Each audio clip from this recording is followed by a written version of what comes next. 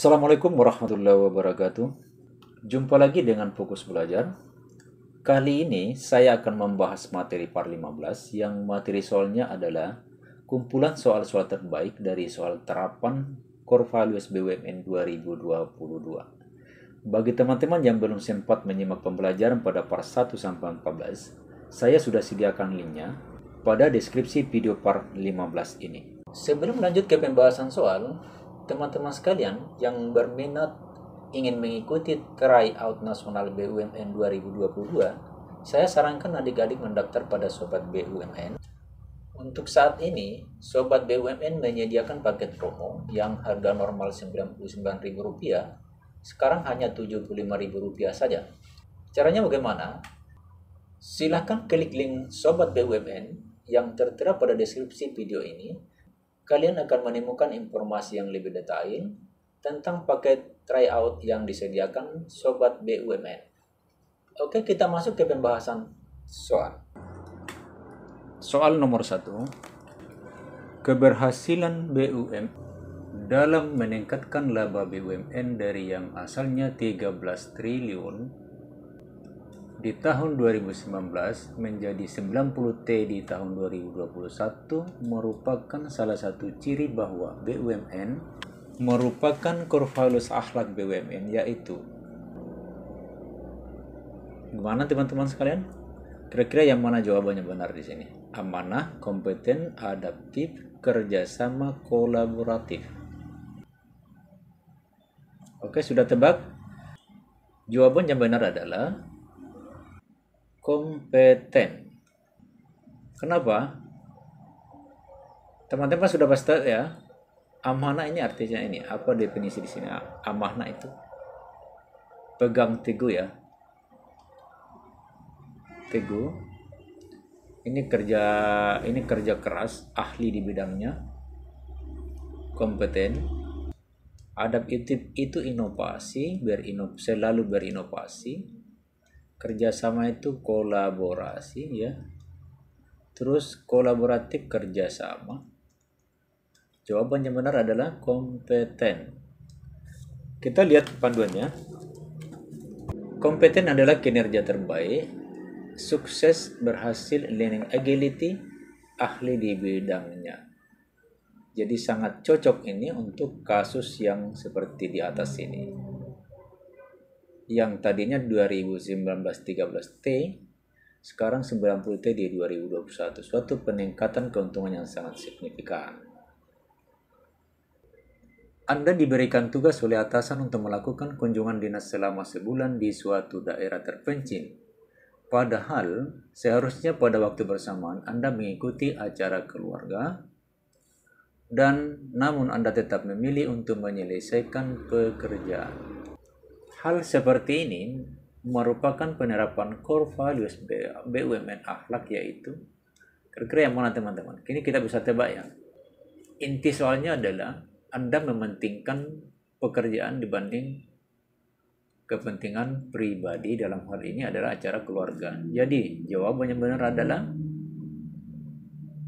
kolaboratif salah, loyal A betul, kompeten salah, adaptif salah, amanah salah. Jawaban yang benar adalah loyalitas. Oke, kita lihat panduannya. Loyal berdedikasi dan mengutamakan kepentingan bangsa dan negara. Jadi penerapannya yang di sini adalah rela berkorban untuk mencapai tujuan yang lebih besar. Lanjut ke nomor tiga. Sebelum pandemi berlangsung, biasanya rapat dilaksanakan secara offline, tatap muka. Namun pada saat pandemi COVID-19, seluruh pegawai dituntut ini ya, dituntut mengikuti rapat secara online menggunakan aplikasi Zoom Meeting. Dalam kasus ini, Anda melakukan penerapan korpolis akhlak yaitu bisa tebak ya teman-teman sekalian. Intinya adalah pegawai dituntut untuk mengikuti rapat dalam pengertian ini adalah dia harus selalu mengikuti perkembangan teknologi. Itu pegawai ya. Ini dituntut baru ataupun lama, sama saja.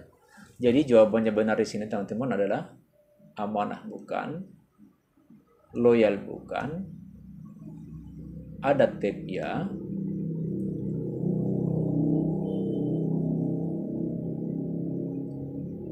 kolaboratif bukan, harmonis bukan. Jawaban yang benar adalah adaptif. Kita lihat panduannya. Adaptif terus berinovasi dan antusias dalam menggerakkan atau menghadapi perubahan. Jadi intinya di sini berinovasi sehingga karyawan di sini dituntut untuk menggerakkan ataupun menghadapi perubahan sehingga karyawan itu selalu mengikuti perkembangan teknologi. Jadi penerapannya di sini adalah di nomor 2. Oke, kita lanjut teman-teman ke soal nomor 4. Soal nomor 4, Anda dan teman diberikan tugas oleh atasan untuk membuat sesuatu. Ternyata pekerjaan Anda sudah selesai, tetapi pekerjaan teman Anda belum selesai karena dia sakit. Anda membantu pekerjaan teman yang sedang sakit supaya pekerjaan bersama tersebut bisa selesai. Sikap yang Anda lakukan merupakan implementasi daripada core values BUMN akhlak yaitu gimana ini teman-teman lagi? Jawaban yang benar adalah kompeten bukan, harmonis oke, okay, adaptif salah, kolaboratif juga salah, amanah salah. Jawaban yang benar adalah harmonis. Saling membantu ya saling peduli. Nah ini adalah merupakan panduan perilaku dari harmonis. Kita lihat panduan perilakunya. Harmonis adalah saling peduli dan menghargai perbedaan. Panduan perilakunya menghargai setiap orang suka menolong orang lain membantu lingkungan kerja yang kondusif. Pengalamannya di sini pengamalannya di sini adalah membantu pekerjaan teman yaitu suka menolong orang Oke teman-teman kita lanjut ke soal nomor 5 Melalui FHCI, seluruh BUMN mendapatkan berbagai training, seperti training keuangan dan training leadership. Hal ini, hal seperti ini merupakan penerapan core values akhlak BUMN, yaitu A. Amanah, kompeten, adaptif, kolaboratif, harmonis. Ini mendapatkan training ya, training training leadership ini tujuannya adalah untuk peningkatan kompetensi karyawan. Jadi jawabannya benar ini adalah amanah bukan, kompeten oke, okay, adaptif salah, kolaborasi juga salah, harmonis salah. Jawaban yang benar adalah kompeten. Oke, kita lihat panduannya teman-teman. Kompeten adalah terus belajar dan mengembangkan kapabilitas. Oke, benar. Di situ ya, peningkatan kapabilitas karyawan kompetensi diri untuk nah, penelamannya pengamalannya ada di sini. Masuk ke soal nomor 6. Kasus COVID-19 membuktikan bahwa kita bisa bersatu sebagai bangsa ketika bangsa lain mengatakan bahwa Indonesia gagal dalam menghadapi COVID. Kita tidak mampu menangani COVID, tetapi kita jawab dengan kerjasama. Gotong royong, sehingga bisa menangani COVID dengan sangat baik. Hal seperti ini merupakan penerapan kurva akhlak BUMN yaitu A kolaboratif, kolaboratif, loyal, kompeten, adaptif, amanah. Kira-kira teman-teman yang mana? Sekarang kita tebak ya. Kerjasama. Intinya di sini soal adalah kerjasama dan gotong royong. Berarti jawabannya benar adalah kolaboratif itu oke okay? loyal bukan kompeten juga bukan adaptif juga bukan amanah bukan ya jawabannya benar adalah kolaboratif coba kita lihat panduannya Berdasarkan kasus tersebut, keberhasilan Indonesia dalam menangani COVID adalah dikarenakan adanya gotong royong dan kerjasama ini isinya. Maka ini merupakan penerapan pada korporasi BUMN yaitu kolaboratif. Oke lanjut ke soal berikutnya. Soal nomor 7. Mengikuti perkembangan zaman yang terus-menerus berkembang menggunakan teknologi. BUMN terus memperbanyak generasi muda supaya bisa mengikuti zaman. Hal seperti ini merupakan penerapan core values akhlak BUMN yaitu A amanah, amanah, kompeten, adaptif, kolaboratif, harmonis. Jawabannya benar teman-teman? Yang mana? Kita cek. Amanah bukan, kompeten bukan, adaptif ya, kolaboratif bukan, harmonis bukan. Jadi jawaban yang benar adalah adaptif. Kita lihat panduannya dulu. Terus mengikuti perubahan zaman dengan antusias merupakan penerapan kurvalis BUMN yaitu adaptif. Ah ini dia. Karyawan BUMN dituntut untuk terus menerus berkembang mengikuti perkembangan teknologi. Oke, kita lanjut ke soal nomor 8. Sebelum lanjut ya, teman-teman sekalian, bagi teman-teman yang baru singgah ke channel ini, mohon subscribe ya. Dan atas dukungan kalian mudah mudah-mudahan channel ini bisa berkembang lebih baik. Lanjut ya. 8. Didi adalah salah satu karyawan di perusahaan BUMN Energi. Ia adalah salah satu karyawan baru di perusahaan tersebut yang bergabung sekitar dua bulan. Karena di perusahaan sebelumnya ia terkena PHK pada suatu hari, ia sang ia sedang sangat-sangat semangat bekerja. Tiba-tiba ada saudara yang menelponnya memberitahukan kalau anaknya sakit dan harus dibawa ke rumah sakit. Apa yang harus dilakukan? Kita cek satu-satu teman-teman.